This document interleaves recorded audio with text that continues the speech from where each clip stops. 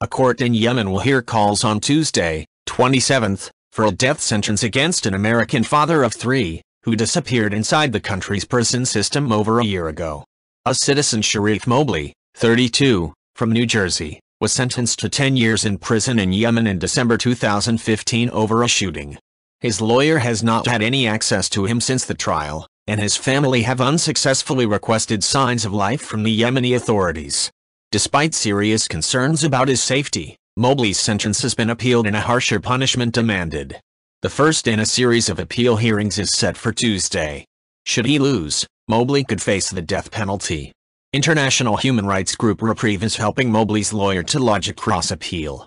The case dates back to 2010, when Mobley was kidnapped by unidentified gunmen from outside his house in Yemen's capital Sana'a, shot in the leg and held incommunicado for months. Logs released under a U.S. Freedom of Information request revealed that U.S. agents interrogated Mobley while he was in secret detention. Since mid-2010, he has faced charges relating to the death of a Yemeni police officer in the course of an alleged escape attempt from hospital, where Mobley was being detained.